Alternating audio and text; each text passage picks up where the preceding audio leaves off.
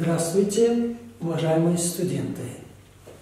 Я доктор философских наук, профессор Шабманов Курбан Бадрединович, работаю на кафедре английского языка Бухарского государственного медицинского института имени Абу Али Ибн Сина. Сегодня я хочу вам представить презентацию, которая представляет собой довольно-таки интересную малоизученную на сегодняшний день такую тему, как э, восприятие идей восточных философов и мыслителей прошлого на философскую мысль, на культуру и в целом на цивилизацию Европы.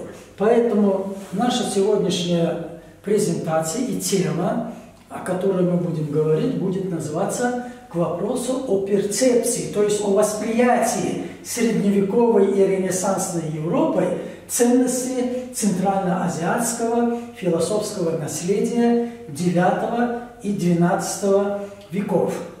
Почему мы так говорим? IX и XII века считается на Востоке периодом первого восточного ренессанса. Это был период, когда творили наши величайшие умы, такие как Абу Али ибн Сина, известные в мире и Европе как Авиценна, э, так же как второй учитель, прозванный так после великого Аристотеля, это э, Аль-Фараби, выдающийся ученый, мыслитель и философ Абу Райхан Бируни, выдающийся математик своего времени Аль-Харезми, кстати, сегодня мало кто задумывается о том, что слово «алгоритм», откуда оно появилось? Алгоритм в своем оригинале и означает «аль-харазми», только со временем, когда э, европейцам было трудно воспроизводить э, арабское произношение «аль-харазми», они его сперва называли «аль-хаваразми», и постепенно в течение 100-150 лет это его имя стало как алгоритм. И сегодня мы знаем слово алгоритм, которое употребляется во всех сферах высочайших технологий, это и есть имя нашего выдающегося ученого, выдающегося предка, который творил в период э, первого ренессанса Харизми основателя современной математики и алгебры, как вы знаете. Но если мы вернемся к предмету нашего обсуждения, то нужно сказать, что вот эти достижения 9-12 веков э, уже в XI веке в Европе были э, известны э, великим деятелям этого периода, в том числе, э, скажем, ученым и профессорам таких ведущих Э, учебных заведений Европы, как Кембриджский и Оксфордский университеты Лондона. И до сих пор там, в Болденской библиотеке, хранятся оригинальные рукописи Фараби и Ибн Сины, и также их переводы тогда э, употреблявшегося везде э, латинском шрифте. Дело в том, что латинский язык который включительно по 14-15 века в Европе употреблялся не только как язык церкви, но и язык науки, поэтому э, самые важные произведения наших предков, в том числе Абу Али Ибн Сины, его канон врачебной практики, потом, э, так же, как и несколько его выдающихся других философских произведений, песен о птице и других – они были переведены прежде всего на латиницу, чтобы все это было известно э, европейскому читателю, европейскому зрителю. Еще один интересный факт по э, этой тематике заключается в том, что, например, э, под влиянием Авиценны вся Европа была настолько воодушевлена и покорена его выдающимися трудами в области медицины и философии, что в нескольких выдающихся к тому времени университетах Европы, включая Британии и, скажем, Сорбона Франции, Саламанки, Падуи Италии были открыты специально восточные факультеты и факультеты медицины. Внимание! Куда не могли поступить студентами те, которые не знали арабского языка.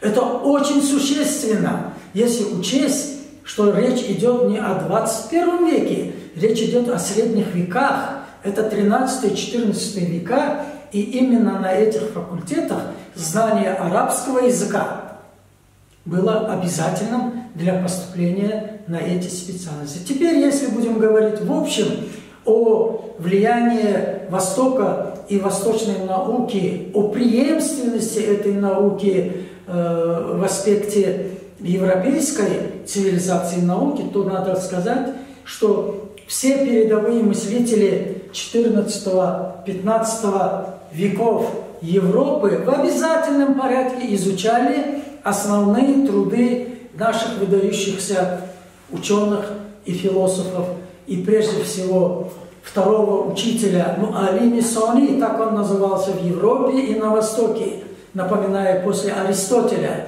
Великий Аристотель считался в современной цивилизации и считается первым учителем, а Фараби считается вторым учителем. И одним из основных толкователей и интерпретаторов э, всего э, философского наследства, наследства Аристотеля, так же, как и Платона и многих других древнеримских и греческих философов и мыслителей, являлись наши восточные предки. Мы их иногда еще называем как восточные перипатетики, по аналогии с тем, что в Древней Греции последователи э, учения Аристотеля и непосредственно его ученики э, обсуждали выдающиеся темы того времени, философские, актуальные, повседневные, прогуливаясь по саду. И их тогда назвали именно перипатетиками. Это греческое слово. Точно так же в, на Востоке в школе а, Авиценна и Фараби были тоже выдающиеся учителя. Они пошли этим путем, путем, и поэтому их тоже назвали восточными перипатетиками. И вот наследие восточного перипатетизма – это учение 9-12 веков непосредственно повлияло на всю философскую и культурно-цивилизационную мысль Европы, э, начиная с 14 и 15 веков. А этот, как вы знаете, является каким периодом? Этот период называется Ренессанс или Возрождение. Ренессанс начался в Европе в XIV веке, зачинателем была Италия, а затем постепенно перешел Э, в такие страны европейского континента, как Испания, Франция и, наконец, Северное Возрождение – это Англия или Британия. Выдающиеся представители, особенно английского Возрождения, э, такие как, скажем, Томас Мор, Фрэнсис Бэкон, которого Карл Маркс назвал истинным родоначальником интересным, истинным родоначальником материализма. Это очень существенно. Вот они, кто непосредственно, кто опосредованно изучал эту науку. Конечно, через латинизированные переводы. Но поскольку в те времена очень активно работала так называемая инквизиция, то есть тайная полиция, которая пресекала любое свободомыслие в Европе, и, естественно, выдающиеся ученые боялись открыто сказать, что вот да, я изучил труд великого восточного мыслителя э, Абу Райхана Бируни или Авицена. Они боялись этого, поскольку восточные мыслители э, со стороны еретиков и церкви Европы всей средневековой Европы, они считались еретиками. Это была плохая мысль, поэтому было нежелательно.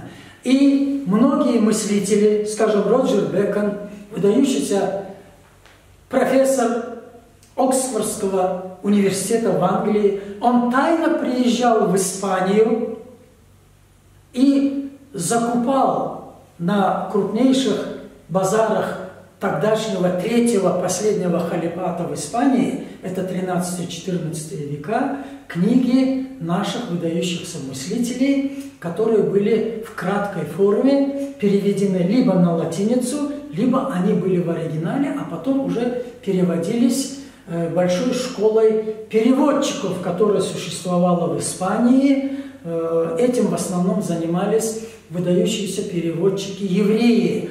Это э, эта школа знаменита на весь мир была 12, 13, 14 века, и через их переводы вот, э, труды наших мыслителей стали известны всей Европе.